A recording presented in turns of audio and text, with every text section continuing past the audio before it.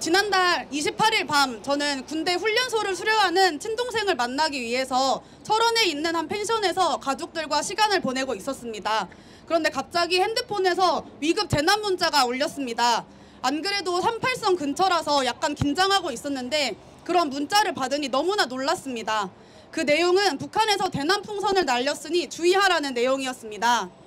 전쟁이 아니라 다행이다 싶었지만 이런 일을 일상적으로 겪으실 접경 지역 주민들의 마음을 조금이나마 공감할 수 있었습니다. 그런데 6월 1일, 2일에도 풍선은 계속해서 날아왔고 일주일 정도가 지난 지금까지 대남 풍선에 대한 보도가 이어지고 있습니다. 바람을 타고 날아간 260여 개의 풍선들이 전북, 경남 등 전국에서 발견되고 있는데 풍선에 들어있는 각종 쓰레기와 오물로 인한 피해와 불편이 상당하고 그것들을 치우려면 군인, 경찰, 소방서까지 동원돼야 하기 때문에 국가 행정력 낭비도 심각하다고 합니다.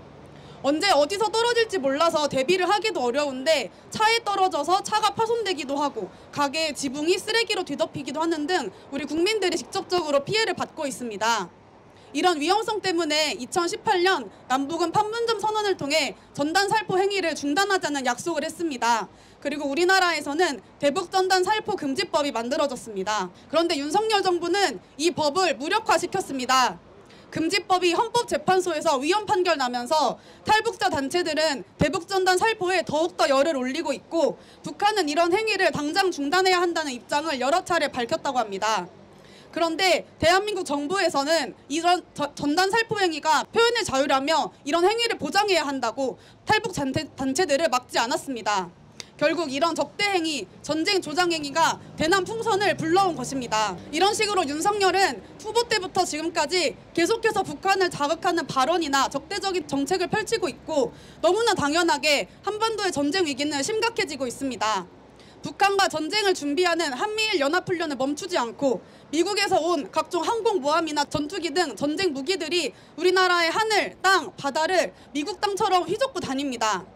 북한을 끼워넣어 조작 사건을 만드는 시도를 하거나 정부를 규탄하는 국민들의 발언이나 행동에 무턱대고 반국가 행위라는 누명을 씌우는 정부입니다. 이렇게 윤석열이 집권한 이후 마음 편한 날이 하루가 없고 불꽃놀이를 하는 소리에도 혹시나 전쟁이 시작된 것일까봐 마음을 졸이게 되었습니다.